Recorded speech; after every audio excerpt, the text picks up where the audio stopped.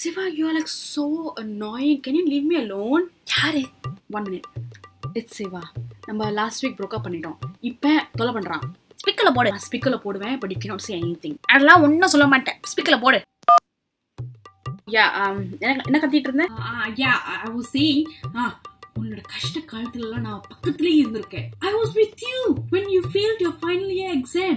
I was with you ஒரு ஒரு வருஷமா நீ வேலை தேடிக்கிட்டு இருந்திய. ஐ வாஸ் வித் யூ இருபது நாள்லயே உனக்கு வேலை போன போது நான் உன் பக்கத்துல தானே இருந்தேன். பட்சல்ல ஒரு சண்டை நடந்துச்சுல? அப்ப கூட நான் உன் கூட தானே இருந்தேன். அவன் சரியா தானே சொல்றான்? ஹலோ நான் தான். கேக்கியோட அம்மா.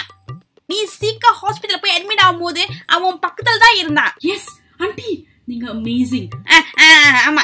அப்புறம் நீ வந்து அந்த டெக்ஸில ஒரு ஆக்சிடென்ட் நடந்துச்சுல? அப்ப கூட அவன் பக்கத்துல தான் இருந்தான். அம்மா கேக்கே isn't your mother? இதுல இருந்து நம்மளுக்கு என்ன தெரியுதுன்னா உனக்கு கெட்டது நடக்கும் போதெல்லாம் சிவா பக்கத்திலேயே இருந்திருக்கான். My god yes ஆண்டி நீங்களே எடுத்து சொல்லுங்க. இதுக்கு அர்த்தம் என்ன? இவன் தான் உன்னோட துரதிர்ஷ்டம். என்னது?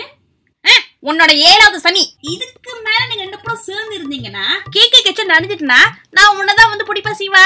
அந்த சான்ஸ் எடுத்துக்க நீ தயாரா?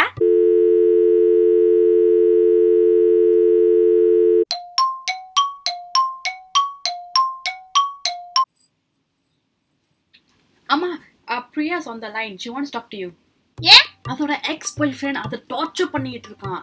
ஸோ நீங்க எனக்கு ஹெல்ப் பண்ண மாதிரி அதுக்கும் ஹெல்ப் பண்ணுங்க? அண்ட் ஆல்சோ இந்த மாதிரி பிரச்சனை இல்லை எனக்கு சிக்ஸ் கேர்ள் ஃப்ரெண்ட்ஸ் இருக்காங்க. ஓஹோ! You can totally help them ஆ குடு போன் குடு. ஹலோ பிரியாவா? ஆ ஆ சொன்னிச்சு சொன்னிச்சு. எனக்கு ஒரு கேள்வி இருக்கு.